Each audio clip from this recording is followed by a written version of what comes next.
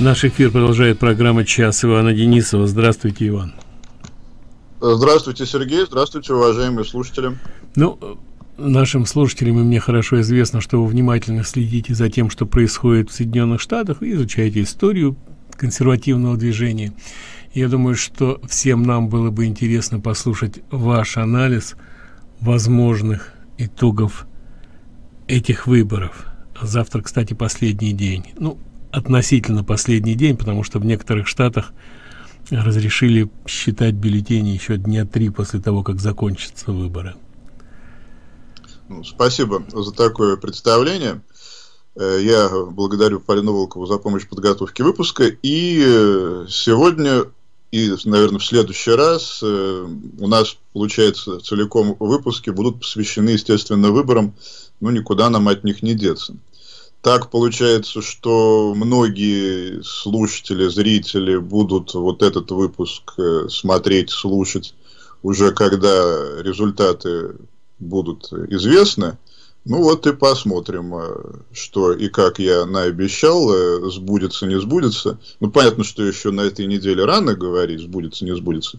Но тем не менее, уже первые, я думаю, какие-то из моих, ну не скажу пророчеств, предсказаний, потому что с этим у меня плохо на самом деле, а какие-то мои соображения, так их назову, они, возможно, уже подтвердятся или будут, наоборот, опровергнуты. Если вам покажется, что где-то я сгущаю краски, да, наверное, это, я полагаю, сейчас необходимо даже сделать, потому что надо рассматривать э, ситуацию даже в ее крайних, крайних проявлениях. Ну, если покажется, что я в чем-то повторяюсь, э, не обессудьте, но здесь это будет сделать, к сожалению, так или иначе необходимо. Поэтому, чтобы все-таки не заканчивать на, ночь, на ноте мрачной, я начну с плохого. Э, и сейчас, э, в ближайшие 15-20 минут, постараюсь вам обрисовать, как я вижу результаты победы Байдена – а во второй части результаты победы Трампа. Если останется время, то, возможно, еще поговорим о том, как консервативное движение может э, измениться в какую сторону и что ему предстоит. Но если не останется, то ничего страшного, даже, наверное, о консервативном движении лучше уже говорить через неделю, когда результаты будут перед нами. Итак, э, смотрим с вами на вариант худший. Э, это победа Байдена. Здесь есть э, свои нюансы. Если победа Байдена плюс э, сохраняется большинство в палате и большинство в Сенате, то все совсем э, плохо. А если республиканцы все-таки в палате, я, честно говоря, не уверен, что удастся ее вернуть, но сохранить хоть какое-то большинство в Сенате теоретически все-таки возможно, я на это рассчитываю. Поэтому этот вариант мы тоже с вами держим в уме. И тоже мы его рассмотрим. Но пока общие, а потом частные моменты. Но что касается противостояния политических партий, то здесь э, мы с вами, скорее всего, увидим, что демократическая партия продолжит э, леветь потому что все разговоры о центризме Байдена я, конечно же, сразу и целиком и полностью отметаю, и отметал все время.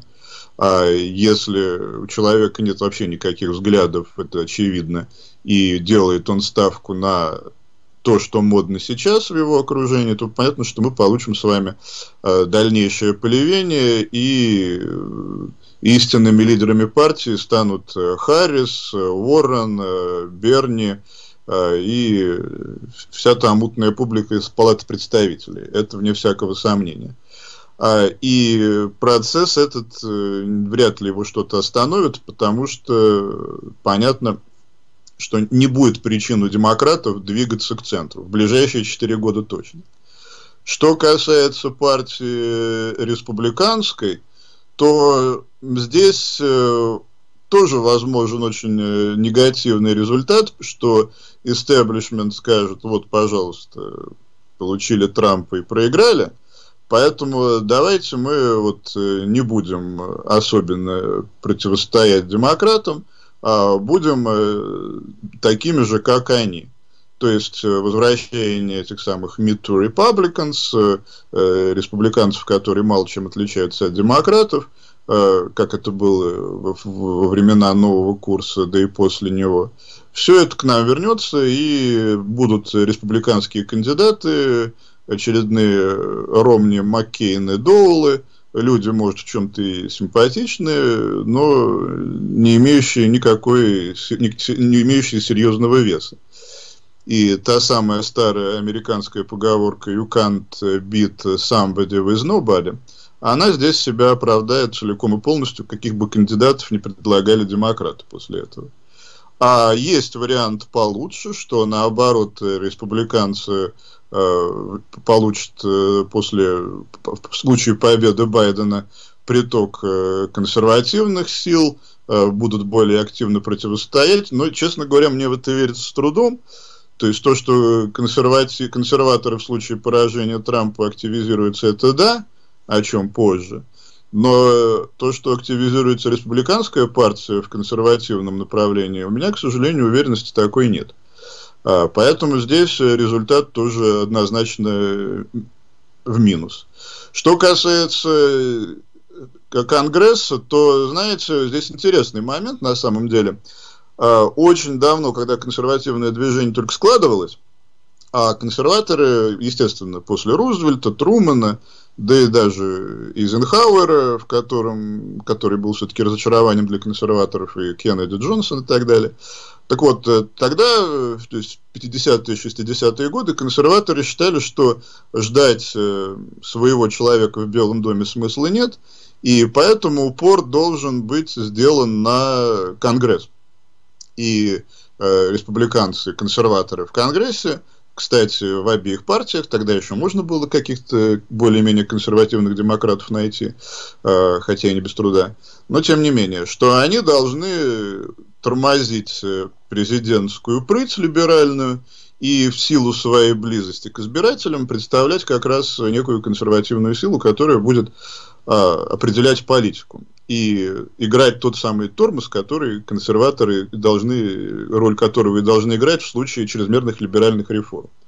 Но со временем ситуация стала меняться, и появление в Белом доме как раз людей, так или иначе связанных с движением консервативным, будь то Никсон, в большей степени Рейган, ну а сейчас и Трамп, а, все это привело к тому, что консерваторы, увы, переключились на власть исполнительную. Я не говорю, что им не надо было этого делать. Если свои люди в, Белом доме, то, конечно, надо этим пользоваться. Но вот как-то Конгресс э, был заброшен. Ну, только Гингрич э, что-то пытался делать в 90-е, да, за что ему большое спасибо. А вот э, демократы и либералы, они как раз подхватили эту тему, и где-то с 70-х годов они, в общем и целом, э, Конгресс э, стали очень лихо использовать уже для, скорее, целей своих э, леволиберальных. Тут как не обошлось без постороннего вмешательства, это никакая не конспирология.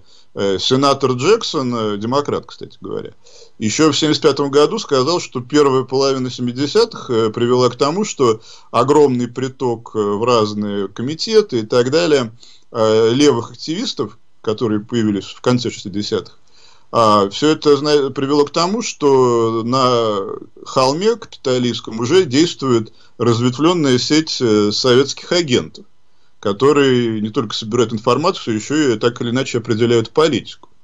И хотя времени прошло много с той пары, но слова Джексона, я думаю, стоит э, их помнить что действительно Конгресс э, в ряде случаев э, выполняет такую вполне деятельность подрывную и либеральную. Почему я ставлю знак равенства чуть позже. Поэтому, если же, как я сказал, будут республиканцы, то у меня, к сожалению, нет никакой уверенности, что они это используют э, как надо.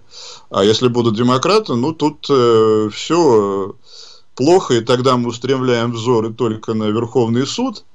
Вообще-то это плохо потому что Верховный суд не должен э, играть роль такой э, некой суперсилы, которая над всеми. И консерваторы тоже об этом говорят. Но может получиться так, что действительно Верховный суд, э, вне зависимости от того, кто будет более консервативным, кто менее, но, тем не менее, все-таки оригинализм благодаря Томасу и Алите, и, надеюсь, назначением Трампа возьмет верх, и Верховный суд может здесь сыграть ту самую, тот самую роль консервативного тормоза. Но и здесь есть опасность, потому что, и опять консерваторы об этом говорили, а сделать это могут демократы и либералы. Потому что, во-первых, э, э, мы все же с вами обсуждали вопрос расширения Верховного суда, и эта опасность есть. Но даже без нее э, можно суд превратить в сообщника, если хотите, либерал. А, во-первых, для этого можно вспомнить то, о чем говорили еще отцы-основатели, и то, что делалось и не раз, а именно ряд вопросов из компетенции Верховного суда вывести. Конгресс на самом деле может это сделать. А, и тогда Верховный суд, да, окажется с вынутыми зубами, если угодно. Это будет трудно, и я все-таки надеюсь, что не получится, но такая возможность есть. А возможность другая, которую предлагали тоже консерваторы, и которая может сыграть против них, да и нас сейчас, это перевести голосование Э, сделать э, такой момент, что решаются важные вопросы по иммиграции, например, и так далее, не простым большинством, 5 к 4, например, а не меньше, чтобы к 6 к 3 или 7 к 2, то есть абсолютное большинство. И если демократы этого добьются, то опять э, преимущество будет на их стороне. Поэтому, как видите, и Верховный суд может здесь не, не стать помощью я уж не буду говорить о том, как, кем, как, как будут те или иные судьи голосовать, не в этом дело. А, момент следующий. Вопрос э, экономики. Здесь я говорил э, и повторяю снова, перспективы весьма и весьма удручающие, потому что, ну, очень быстро напомню то, что в, прошлом, в прошлой передаче обозначал э, рост налогов, а рост налогов, вне зависимости от того, что там говорит Байден, э, означает то, что э, если повысили на какую-то группу Э, людей, занимающихся бизнесом, то это непременно означает рост э, цен, э, в ряде случаев вытеснение бизнеса, подъем минимальной оплаты труда, безработица. В общем, экономика, которая и так не может прийти в себя после эпидемии, получит еще один удар, и я даже не представляю себе, как из нее можно будет выкарабкиваться в условиях завышенных налогов. А что касается вопросов внутренней безопасности, здесь э, у меня большое сочувствие вызывают жители крупных городов. Отчасти они сами виноваты, потому что голосуют за демократов. Но, скорее всего, полиция будет скована по рукам и ногам. А, потому что объявление о том, что э, да, полиция плохая, она должна проходить курсы расизма, приведет либо к тому, что полицейские, в принципе, не захотят э, заниматься своим делом, либо будут им заниматься только если подозреваемые белые, либо вообще в полицию придут неизвестно кто, э, вроде тех мусульман, которые белых и отстреливают. Помните, был случай, когда полицейский мусульманин застрелил белую австралийку. Скандала не было никакого, заметьте. А, ну, вот такое тоже мы можем получить, потому что разговоры о Э, отмене финансирования полиции, это, э, это может произойти, а может перейти просто в шантаж, когда, еще раз повторяю, полиция просто превратится э, в какие-то, в группу некомпетентных людей с оружием. Тогда как вторая поправка, она может очень сильно пострадать. И раз уж я упомянул суды, то, конечно, судьи, которые Конституцию трактуют, мы при Байдене не получим, а получим судьи, которые переписывают – и э, расширяют несуществующие права или их выдумывают, а права реальные, свобода слова, право на оружие э, и все, что с этим связано, вот эти права будут страдать. И та самая анархотирания, которую, которую мы с вами наблюдали в ряде штатов и крупных городов э, в этом году, то есть когда людей запирают по домам и преследуют при их попытке работать из-за Э, проблемы эпидемии, которая еще большой вопрос, насколько она проблема. Но, с другой стороны, погромщикам и тому подобные публике позволяют совершенно безнаказанно себя вести. Э, я боюсь, что, да и почти уверен, к сожалению, что при Байдене эта политика, она только разовьется. А далее еще одна интересная параллель с 70-ми, точнее даже не параллель, а такой привет из прошлого. А именно Пономарев э, был такой глава международного отдела как ПСС. Он э, в 71-74 году, две статьи у него было, где он объяснял, как надо делать революцию товарищам на Западе и какие у них основные ошибки. И по словам Пономарева, то, что надо сделать прежде всего, это подчинить себе средства массовой информации людям коммунистических взглядов, а спецслужбы и армию. И, как мы видим, заветы международного отдела, как ПСС, они левыми реализуются. Э, и средства массовой информации уже у них. А то, что творилось в спецслужбах при Обаме, мы теперь тоже с вами знаем. И возвращение демократов и Байдена будет означать то, что, скорее всего, спецслужбы окончательно превратятся уже совершенно черт знает во что, а, и если адекватные люди на каких-то низших уровнях там останутся, то управление спецслужбами, оно целиком и полностью будет политизировано и станет э, тоже придатком э, Демпартии. Благо, средствами массовой информации это уже получилось.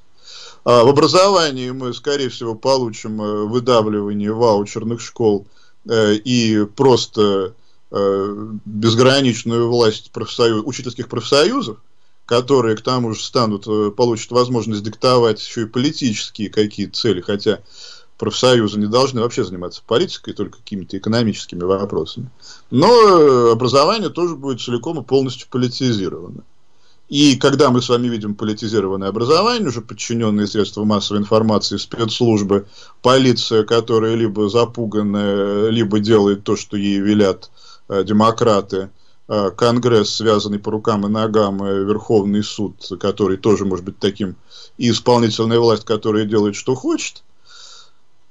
Не очень хорошая картина, но, к сожалению, это именно то, что мы можем с вами получить в случае победы Байдена.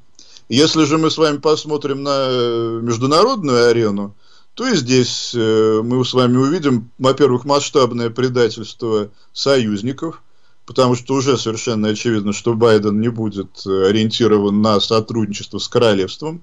А королевство какое-никакое, это все-таки самый надежный друг в Европе, а будет пытаться дружить с этим с бюрократическим монстром под названием Евросоюз.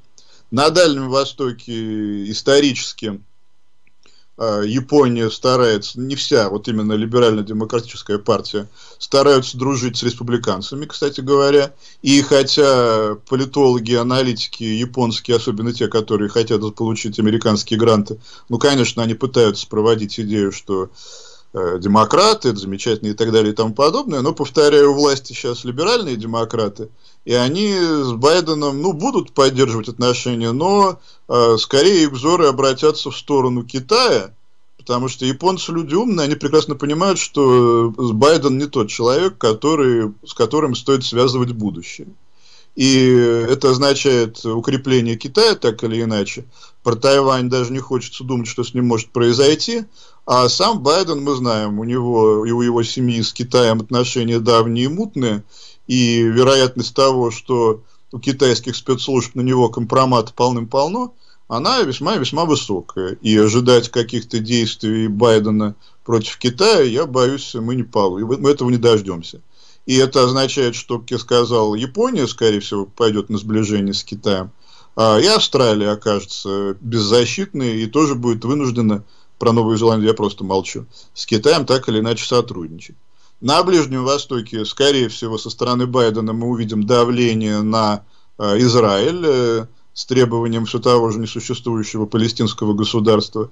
И только сложившийся вот этот альянс арабских стран против Ирана, ну, он вряд ли будет, выдержит испытание Байденом. Тем более Байден не прочь с Ираном опять дружить. Тогда арабы предпочтут что-то свое, и Израилю точно от этого не поздоровится, к сожалению. Израиль-то, я думаю, отобьется в любом случае. Но то, что будут серьезные проблемы, это понятно. А Иран э, усилится. Ну и, конечно же, в такой ситуации, когда э, США показывают свое бессилие, э, оставляют своих союзников э, и будут поддерживать э, безвольные, никому не нужные организации – вроде ООН и так далее. Ну, в Европе Путин получит э, возможность, чего он там надумает, я не знаю, у него своих проблем хватает, но тем не менее. Э, в этом плане у него будет путь открыт куда угодно. И ряд правых партий, например, в Бразилии, в той же самой тогда и в тому подобных странах, э, ну, я не скажу, что они все ринутся к Путину, там все-таки ума хватает. Но то, что они окажутся брошенными и почувствуют отсутствие сильной поддержки со стороны Штатов, это, это серьезно. А, я думаю, они тоже справятся, но, тем не менее, проблемы тоже возникнут. И Южная Америка почувствует это, и там снова левые будут возвращаться к власти. И в Европе, где за время Трампа усилились правые силы, тоже, я боюсь, ничего хорошего не произойдет. В общем, э, я, конечно, вам сейчас нарисовал картину мрачную, я это понимаю. Но, знаете, я на самом деле ничего нового вам не сказал. Потому что если вы посмотрите на тех же самых э, консервативных авторов, которые писали и анализировали обстановку в Штатах еще в 50-е и 60-е, то вы увидите, что очень много из того, что я сейчас прогнозирую, они э, прогнозировали уже тогда, но они это писали как в очень отдаленном будущем. А мы, к сожалению, это можем получить уже в следующем году. А Кендалл, мой любимый, здесь я обращусь к нему, он э, в одной из своих статей, даже не в одной, он часто к этой теме возвращался, написал просто, что э, либералы, у либералов есть четко выдержанная программа, они будут ей следовать, если им не помешать, они не спешат, и рано или поздно они ее, к сожалению, реализуют, если им их не остановить. Они отменят коллегию выборщиков, они сделают все, чтобы отменить э, филибастер в Сенате. Они сделают все, чтобы повысить количество представителей город, городов и сократить э, представителей, количество представителей сельских районов э, Среднего Запада. Э, они приложат все усилия для того, чтобы партии были абсолютно расколоты по э, идеологическому принципу и Э, партия более консервативная была вынуждена так или иначе следовать либеральным э, э, установкам, и приходит к выводу Кендалл, это означает, что американская система, как ее создавали отцы-основатели, как она задумывалась, как они описывали ее в «Федералисте», она будет уничтожена.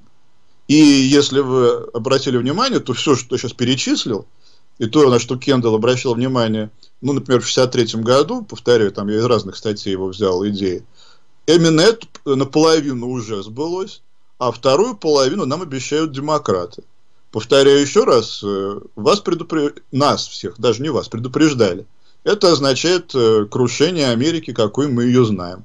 Мне очень жаль, что я говорю такие слова, но, увы, так оно и есть. Мне очень грустно, что это может произойти, но я все-таки надеюсь на лучшее, о чем во второй половине нашей программы. Если Сергей что-то добавит, с удовольствием передам слово. Ну, вот как раз наши слушатели, зрители на YouTube и расстроились по поводу того, что вы анализируете результат в случае победы Байдена. Ведь лучше бы Иван рассказал о том, что нас ждет после того, как Трамп выиграет. Вот, я думаю, через пять минут во второй части программы как раз об этом и пойдет речь. Если у вас будут вопросы, вы всегда можете позвонить к нам в студию по телефону 847 400 5200 задать ваш вопрос. Никуда не уходите, вернемся буквально через пару минут. Возвращаемся в программу «Час Ивана Денисова». Телефон в студии по-прежнему 847-400-5200. Иван, давайте, наверное, примем звонок, ответим на вопрос, а потом продолжим. Добрый день, пожалуйста, вы в эфире. Алло, здравствуйте. здравствуйте. Э, если мы сегодня э, внимательно рассмотрим политическую карту Соединенных, Соединенных Штатов, то э, большая половина штатов уже безвозвратно находится в руках демократов, как Иллинойс, Нью-Йорк, Нью-Джерси и так далее. Калифорния тоже. Вот. И а в тех штатах, где еще э, правят э, республиканцы, там э, качели э, двоевластия, то иногда приходят к власти демократы, и республиканцы меняют друг друга, и, и там уже тоже э, все идет к тому, что эти э, штаты постепенно, постепенно из э, красных становятся сперва э, такими вот светло-голубыми, а затем превращаются в голубые. Не кажется ли вам, что э, в скором времени вообще республиканская партия придет к своему закату? Спасибо. Да, спасибо. Я все-таки так не думаю. А, во многом то, что происходит, э, это из-за иммиграции. Я, у меня уж, я уж не стал говорить, столько, столько раз на нее ссылался, но повторю еще раз, еще, да, тоже серьезная опасность, возможно, одна из даже более серьезных, чем то, что я уже назвал, а, в действиях Байдена, это амнистия для нелегалов. А, потому что приток людей совершенно, чья система противоречит американской, он и приводит к тому, что мы видим. А, в остальном, э, так или иначе, э, американский консерватизм, он свое берет э, со временем в той или иной степени.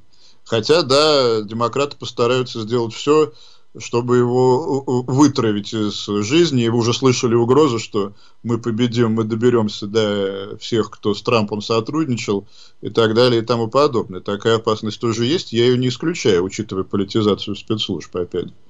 Но в целом, э, нет, я все же не думаю, что все настолько мрачно. А, и если противостоять демократам, то республиканцы и консерваторы свое будут брать. Но для начала надо свое взять э, завтра. Спасибо. Ну, а теперь перейдем к другому прогнозу. Да, я вот э, описал вам э, почти все мрачные последствия президентства Байдена э, или Харрис, потому что, да, мы еще сами не знаем, кто будет э, президентом на самом деле, если в случае победы. Но давайте посмотрим э, на более оптимистический вариант. Э, это победа Трампа. Э, здесь тоже есть проблема. Э, во-первых, вы знаете, есть странная такая закономерность в американской истории, что второй срок, но он, как правило, оказывается для президента сложным.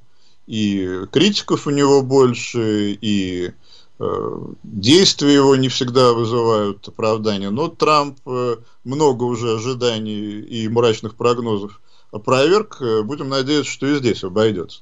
Тем не менее, две первоочередные проблемы, которые будут, это опять, э, если демократы получают большинство в Сенате, и по, вообще по всему Конгрессу, и тогда они будут Трампа серьезно сковывать. У них опыт богатый со времен Никсона и Рейгана. И второе, что э, конец года, э, я, конечно, тоже не хочу вас пугать, но взрыв э, городского насилия и истерик, связанных с коронавирусом, нам обеспечен. Потому что погромщики, они не будут мириться с поражением, и они нам это обещали с января месяца а демократы, бюрократы, их друзья в средствах массовой информации и э, в научном э, там, комплексе, который, увы, тоже ничем не лучше, они будут нам рассказывать, да, устроить настоящую травлю всех консервативных республиканских губернаторов и, и Трампа заодно в связи с тем, что все завтра умрут, э, послезавтра не умрут, заразят всех бабушек и дедушек, и детей заодно. И это тоже будет серьезное давление. Поэтому Трампу главное в такой ситуации э, свою команду укрепить и сохранить. И, конечно же, не реагировать на истерики. А что касается насилия, ну, пришла пора уже прибегать к силе. Я понимаю, что многие считают, что это не по-американски, но извините, для чего федеральное правительство, если граждане не могут защитить власть штата и их собственность, федеральное правительство вступает в дело. Поэтому введение всех возможных сил, э, каких угодно, в том числе и войск, я лично полагаю, что это тот момент, когда к этому нужно прибегнуть. Хотя, да, многим это не нравится, но, э, извините, бывают моменты в американской истории, когда по-другому нельзя. Ну, э, так что я думаю, здесь Трампу надо решать. Далее, конечно же, Трампу нужно продолжать э, назначать судей и создавать серьезную э, основу для дальнейшего развития оригинализма в американской юриспруденции. Нужна очень серьезная чистка спецслужб, потому что не все назначения здесь себя оправдали. И, конечно же, Рэю и Хаспел, прежде всего, им нужно уйти – ну, у меня есть кандидаты на их пост, но я надеюсь, через неделю мы об этом поговорим. Пока просто скажем, что э, спецслужбы нужно реформировать и дальше. И стараться туда привлекать как можно меньше представителей элиты и это тоже, кстати, не мое мнение, а многих разведаналитиков, и как можно больше привлекать э, людей, да, естественно, с образованием и так далее и тому подобным, но которые не затронуты членством ни в каких э, элитных братствах, э, университетских сообществах и так далее и тому подобное. То есть, как говорил все тот же Кендалл, без него мне никуда сегодня, а он еще спецслужбами занимался, так как в них работал, а, нужны спецслужбы должны отражать интересы Америки интересы Америки куда лучше будут отражены аналитиками и э, людьми, которые Америку знают не по лекциям левых профессоров, а по своему собственному опыту. Поэтому здесь нужно что-то делать. А дальше, дальнейшие действия Трампа по экономике, по моему мнению, помогут выбраться из э, коронавирусного кризиса, во многом искусственного, потому что снижение налогов, э, сокращение регулирования, но оно себя, безусловно, оправдает. И уже сейчас мы видим, что э, экономика стала выправляться. Э, хотя, повторяю, ее сейчас попытаются в случае победы Трампа снова торпедировать э, демократы. Но, как бы то ни было, победа Трампа, она даст возможность ему и дальше экономику выравнивать, и я думаю, уже в следующем году, может, прогноз очень оптимистический, но вот здесь, э, когда Америке никто не мешает, э, прежде всего собственное же правительство, у нее все получается. Я думаю, что уже через, на будущий год э, вы будете смотреть на Европу с насмешкой, как всегда, в случае победы Трампа, повторяю. Потому что у вас экономика вернется к до коронавирусной положению, а в Европе вряд ли, с их новыми локдаунами и так далее. И Трампу это вполне по силам сделать. Естественно, дальнейшее выведение образования из-под э, давления э, профсоюзов, дальнейшее развитие чартерных школ и ваучерных. Это, кстати, поможет э, освободить и чернокожих детей, дать им лучшее образование, так как они часто оказываются привязаны к своим школам, где черт знает, что творится. А когда чернокожие дети будут, их родители будут школы выбирать, то мы меньше будем получать Флойдов и, и же с ними, и больше Кларенсов Томаса и Томасов Совелл. Совелл, кстати, вообще один из главных защитников чартерных школ, а Байден, вы знаете, их лютый враг. Поэтому это надо развивать в вопросах экономики. В вопросах университетского образования нужно Э, нужно, конечно, переосмысливать вопрос финансирования и, если угодно, э, вводить уже и э, понятие лояльности. Я знаю, что это звучит отсылкой к 50-м, но сейчас ситуация ничуть не лучше, и это сделать нужно. Я не уверен, что Трамп на это пойдет, но, возможно, какие-то меры экономические предприняты будут. А, так что образование, реформы спецслужб и экономика – но это, скорее всего, Трамп будет делать, я очень на это рассчитываю. А, разумеется, дальнейшее ужесточение миграционной политики а, и все-таки отмена ДАКи пресловутой, она должна состояться. И я думаю, здесь уже Верховный суд э, не, будет, не, не сможет отбиться, и эта амнистия будет похоронена благополучно. А продолжение стены, понятное дело – и, э, хотя, конечно же, Трамп вопросов не решит, но вот то, что я перечислил, и то, что ему по силам сделать, но это уже ситуацию в стране, я полагаю, очень сильно улучшит. Если мы с вами э, обратим э, взоры на политику международную, то здесь э, тоже достаточно продолжать то, что Трамп делает. И уже мы с вами видим, что Э, позиции Америки, несмотря на стоны проклятия мирового либерального истеблишмента, они будут только укреплены. Прежде всего на Ближнем Востоке, где Трамп сделал и так уже очень многое для прекращения террористической деятельности, так как она там, ну, не сказать, чтобы уничтожена, я боюсь, она там никогда не будет уничтожена. Но такого безобразия, что было при Обаме, мы, конечно, там не видим. А, Трамп сделал то, о чем давно говорят консервативные, конечно, не республиканские, прежде всего, консервативные аналитики, а именно, что арабский мир понимает только э, силу и видит, когда э, Америка готова защищать своих друзей, и тогда не будет связываться ни с Америкой, ни с ее друзьями. И поэтому то, что происходит, э, происходило в последние годы, перевод посольства в Иерусалим – и готовность Трампа и Америки быть рядом с Израилем, ну, привело к тому, что арабы справедливо рассудили, конечно, к Израилю у них любовь не пробудилась, но они поняли, что им не стоит с Америкой конфликтовать, Поэтому и с Израилем не стоит конфликтовать. Тем более внутренние арабские разборки, они на самом деле в ряде случаев более серьезные, чем их ненависть даже к Израилю. И в такой ситуации они предпочтут э, прибиться к тем, кто посильнее. Опять же, Иран есть. Иран сейчас для арабов гораздо большая угроза, чем э, эм, Израиль, поэтому они предпочтут около Америки снова собираться. Более того, э, прошла информация, что Саудовская Аравия ждет э, результатов выборов, и в случае победы Трампа они почти сразу же объявят о том, что тоже готовы отношения с Израилем нормализовать. В случае победы Байдена они, может, это тоже объявят, но они будут ждать и смотреть на то, как Байден себя поведет. А может и не будут, кстати, кто их знает, если Байден начнет на Израиль набрасываться, с него станется. А так разговоры ходят, и, как видел я информацию, глава Масад Йоси Коэн об этом уже говорит, что ждут а, такого объявления Саудовской Аравии после выборов. То есть э, Трампу во второй срок вполне по силам э, принести максимальную стабильность на Ближнем Востоке, я вообще не знаю, с какого времени. Ну, едва ли не с, со Второй мировой войны точно, как там э, более-менее э, какие-то государства появились и сразу же пошло-поехало. Трамп может успокоить, э, хоть как-то, регион. Что касается Востока Дальнего, то, как я уже сказал, японцы увидят э, своих друзей, республиканцев у власти, они продолжат укреплять э, свои контакты. Тайвань, где, кстати, Трампа огромная популярность, потому что они знают, что будет в случае победы Байдена, и они знают, что такое дезинформация китайская. И Тайвань ждет победы Трампа.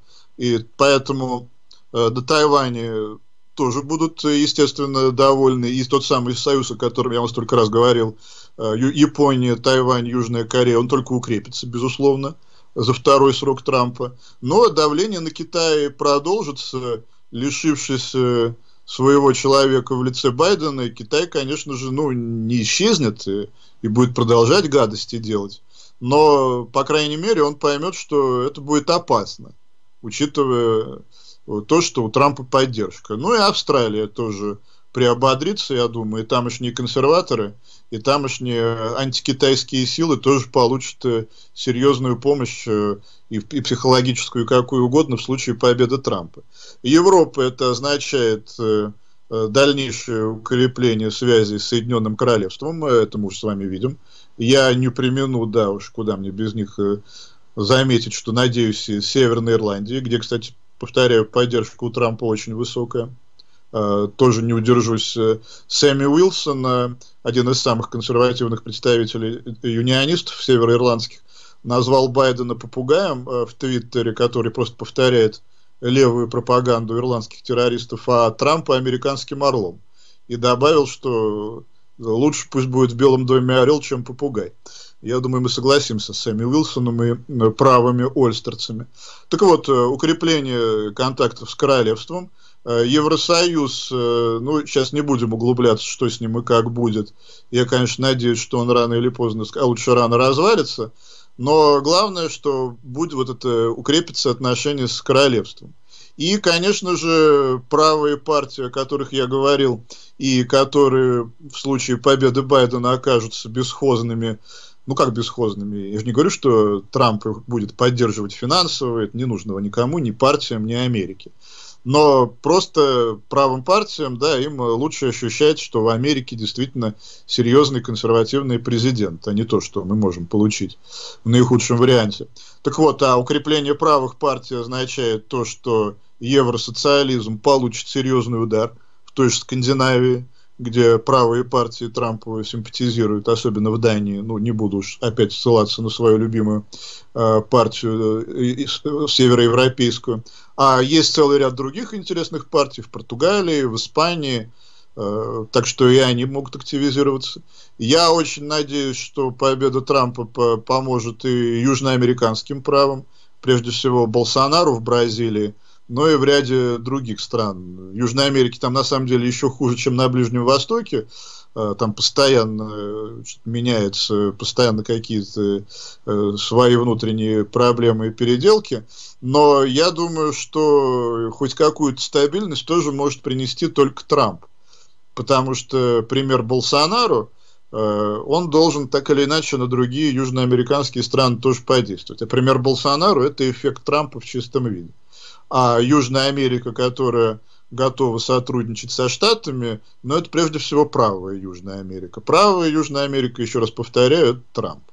Ну и да, то, что многие либералы русскоязычные вас всех пугают, что э, Трамп придет и сразу же Путин всех одолеет, ни в коем случае.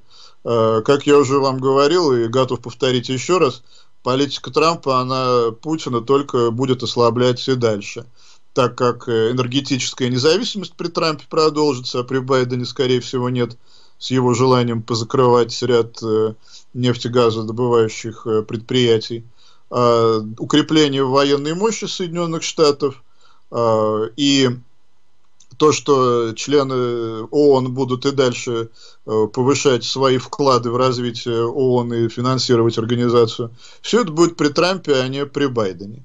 Так что, как видите, проблемы, естественно, будут, без них никуда, от них никуда не деться.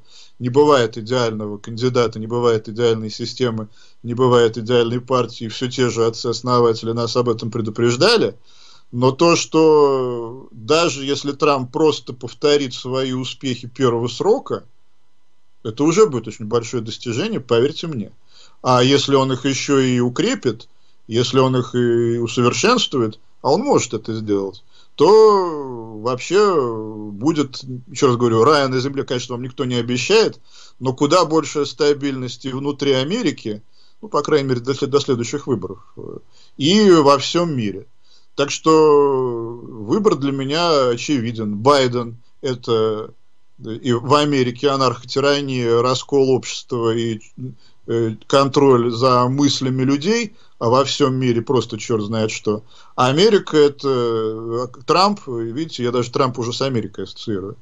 А, Трамп это укрепление консервативных идей в Америке, укрепление американской экономики, укрепление союза с настоящими союзниками, союза с союзниками, ну, не обессудьте, так оно и есть. И, конечно же, укрепление, да, и как следствие, большее спокойствие в мире – а враги Америки, враги цивилизации, но ну, они будут просто сидеть по дырам, по норам, э, уйдут, не уйдут, здесь я не могу гарантировать, но, по крайней мере, они будут понимать, что по рукам им дадут в любой момент, так или иначе. Трамп нам все это показал. Ну и главное, что Трамп, э, конечно же, продолжит, я очень надеюсь, все это реально, если он продолжит сотрудничество с консервативным движением, а каких бы то ни было предпосылок к тому, чтобы он это сотрудничество прекратил, ну, я не вижу. Я напомню, он и так президент, который воплотил гораздо больше рекомендаций э, Heritage, э, чем какой-либо другой президент.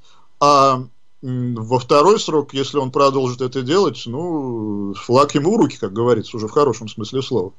Потому что успешный второй срок Трампа, ну, он означает, что как минимум еще 4 года после 24-го э, Пенс, э, Ноум, Десантис, я не знаю кто, но, безусловно, э, после Трампа я не могу себе представить, что пришел какой-то унылый человек из истеблишмента. Скорее всего, это будет консерватор. Какой, я опять же не могу вам прогнозировать, но даже если останется Пенс, я уже буду очень доволен. Ноум и Десантис замечательно. Демократы, да, они продолжат ливеть, э, увы, что прискорбно. И поражение Байдена они, конечно, воспримут как сигнал э, к окончательному переходу в социализм. Скажут, что вот, э, сами видите, мы э, выставили якобы умеренных, проиграли и так далее. Но нам, нас интересы демократов с вами, в общем-то, наверное, волновать все-таки не должны увы, интересы демократов сейчас Америк... и американским, да и мировым интересам противоречат, по моему убеждению. Поэтому, если они превратятся в партию социалистическую, потом э, тихо, мирно будут вытеснены на задворки американской политики, то, ну, значит, сами виноваты, их судьба. Я ни, ни в коей мере не призываю к однопартийной системе, я уверен, что другое появится. Но что есть, то есть. А Трамп, еще раз говорю, удачи. Смешно, что я говорю с точной противоположностью того, что говорил вам 4 года назад. Но Трамп меня вот переубедил. И главное, э, его действия, его поступки, его программа на второй срок. Поэтому для меня все очевидно. Консерваторы с Байденом... Э, господи, что я сказал, ужас какой. Консерваторы против Байдена. Консерваторы с Трампом, э, я с консерваторами – я верю в давнюю максиму философа Джаффа, э, что спасение мира – это Америка, республиканцы, консерваторы, идеи отцов-основателей. Все это на сегодняшний день представляет э, Трамп. А что представляет Байден, я вам рассказал чуть раньше. Поэтому я ни в коей мере, как всегда, не призываю вас ни за кого голосовать. Но, по-моему, выбор и так Очевиден, ясен. Да. И здесь я, наверное, прервусь, хотя время есть, да. но, может, вопросы, Сергей, да, что-то воп... добавит. У нас есть вопросы от радиослушателей. Добрый день. Да, конечно. Добрый день, Сергей. Иван, добрый день. У меня вот такой вопрос. Вы частично в своем обзоре затронули вмешательство спец... спецслужб Советского Союза э, в жизнь, политическую жизнь Соединенных Штатов. Я понимаю, что времени осталось не очень много. Но, может быть, в одной из следующих передач вы сумеете сделать обзор того, как вмешивается современная путинская Россия э, в политическую жизнь Соединенных Штатов. Вот смотрите, я поясню свой вопрос. Слева это телеканал «Дождь», и, например, «Эхо Москвы». Справа это такие люди, как Соловьев и Иже с ним. Тем не менее, атака скоординированная, на мой взгляд, проводится спецслужбами с обеих, с обеих политических сторон. «Эхо Москвы» непонятно, на кого они работают в этом смысле, но они целиком и полностью на стороне демократической партии и социалистических идей как таковых справа американских радиослушателей и телезрителей, такие люди, как Соловьев, пугают грядущей гражданской войной. Другими словами, если сублимировать обе точки зрения, получается, что некий такой э, политический дискурс, атака на политическую систему Соединенных Штатов. Еще раз хочу сказать, что времени мало, и вы наверняка не успеете проанализировать это.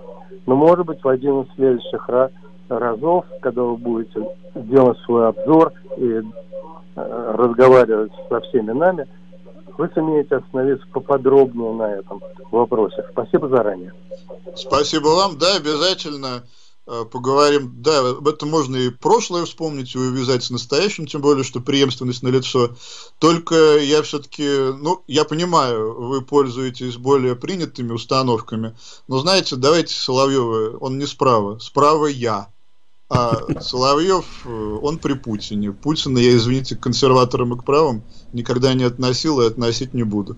Адекватные правые в России есть. не только я, раз я себя упомянул.